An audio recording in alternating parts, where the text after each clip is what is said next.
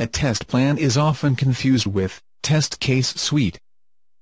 To understand the nitty-gritty of a test plan, let's develop a test plan for flight reservation application.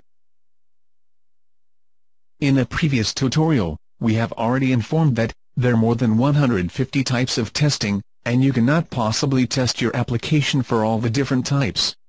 For the flight reservation application, you might want to test the application, to examine how it works, when installed on different operating systems. But testing it to check how it works for different browsers does not make sense, since it is not a web-based application. Based on this contextual analysis, you can make a list of testing types that are in scope and will be tested, and testing types that are out of scope and will not be executed for flight reservation.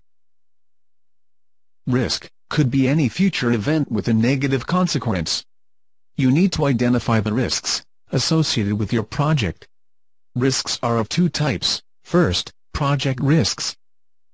Example of such risk is Senior team member, leaving the project abruptly. Every risk is assigned a likelihood, that is chance of it occurring, typically on a scale of 1 to 10.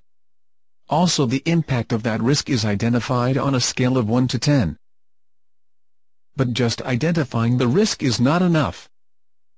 You need to identify a mitigation. In this case mitigation could be, knowledge transfer to other team members, and having a buffer tester in place. The second type of risks are product risks. An example of a product risk would be, flight reservation system not installing in test environment.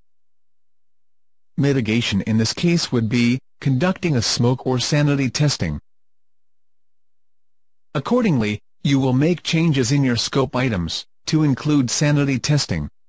This is risk-based strategy of testing. There are many other testing strategies, to help you select testing types, for your application under test. Most of the times your out-of-scope items will not contain, out-of-context testing types.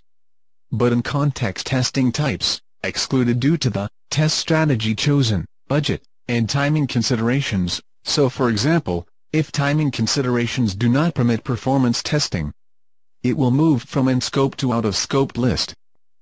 That apart, a test plan will contain information about the test estimates, test team, schedule, and so on.